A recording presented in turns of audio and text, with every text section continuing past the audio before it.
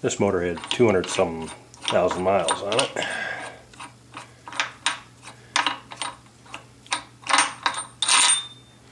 Camshaft's back in. Small issue. There's normally an O-ring in here, but it's sitting in the solvent. the O-ring wore off. So I'm just going to put some ultra gray in the channel here. Not a lot, just enough to get in there. Just to seal off the oil passages.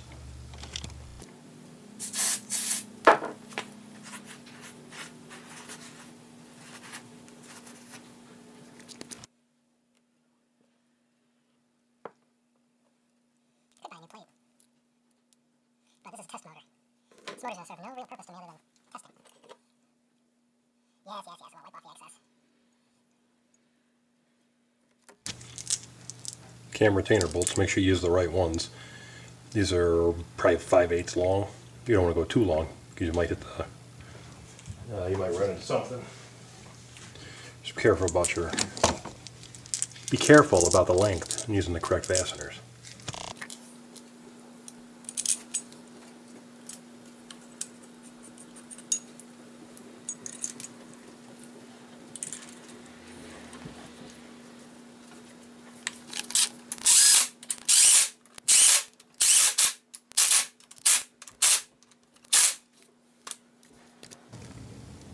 On with the cam gear. And the bolts also use the correct bolts. These bolts are just a skosh over an inch long. You don't want to go too long because it'll go through the camshaft and you might hit something. Might run into the journal or the block.